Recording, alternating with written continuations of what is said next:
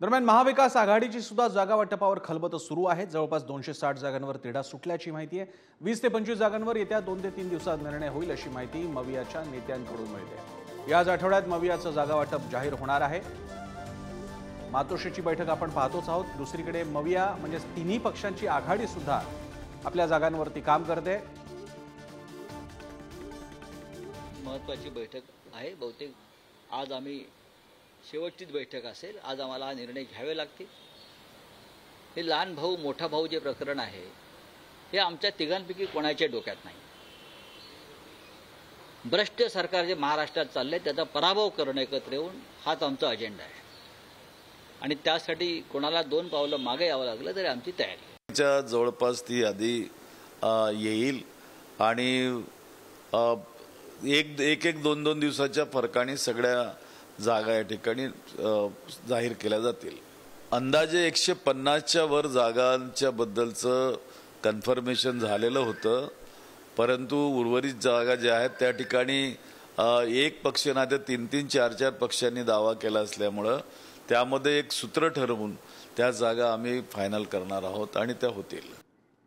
याबद्दल आपल्याला अधिक माहिती देत आहेत प्रतिनिधी चेतन सावंत. चेतन आता संजय राऊतांची प्रतिक्रिया आपण पाहत होतो ते म्हणाले की कोणी मोठा भाऊ धाकटा भाऊ असं नाहीये. आणि भाजपला महायुतीला बाजूला ठेवण्यासाठी प्रसंगी दोन पावलं मागे येण्याचा सुद्धा सगळ्यांचा मानस आहे. हा अतिशय महत्त्वाचा मुद्दा आहे. यावेळी जागा वाटप कसं असेल? जागा वाटपामध्ये कुणाला जास्त जागा जाऊ शकतात? आणि शिवसेना कोणत्या मूडमध्ये आहे?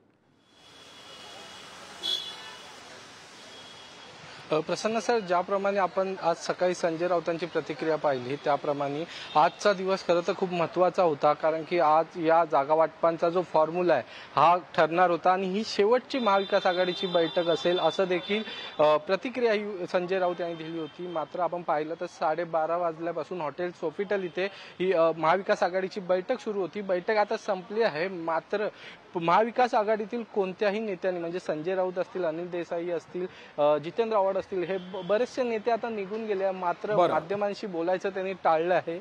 मे आपण पाहिलं असेल तर काही वेळापूर्वी जी आपल्यापर्यंत माहिती आली होती त्या माहितीच्या आधारावर दोनशे साठ जागांबाबतीत जागा वाटपाचा फॉर्म्युला ठरलाय. त्याचा बरं. निर्णय झालेला आपल्याला पाहायला मिळला मात्र पंचवीस ते तीस जागा अशा आहेत की ज्याच्यामध्ये म- महत्त्वपूर्ण अशी रसिकेस सुरू आहे तिन्ही पक्षांची आणि जर आपण या या रसिकेसमध्ये पाहिलं तर सगळ्यात जास्त रसिकेस ही काँग्रेस आणि ठाकरेंच्या शिवसेनेची या दोन पक्षांची आहे. कारण या दोन पक्षांच्या ज्या जागा आहेत त्या एकच जागा आहेत. गेले अनेक काळ एकमेकांशी स्पर्धा करणारे उमेदवार आज एकालाच कोणाला तरी उमेदवारी भेटणार आहे.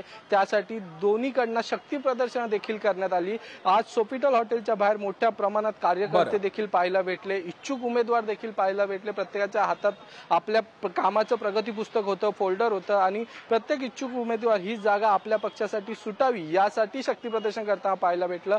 मात्र नेमक्या सगळ्या घडामोडींकडे आपण लक्ष ठेवून आहोत. तुर्तास धन्यवाद तुम्ही दिलेल्या माहितीबद्दल.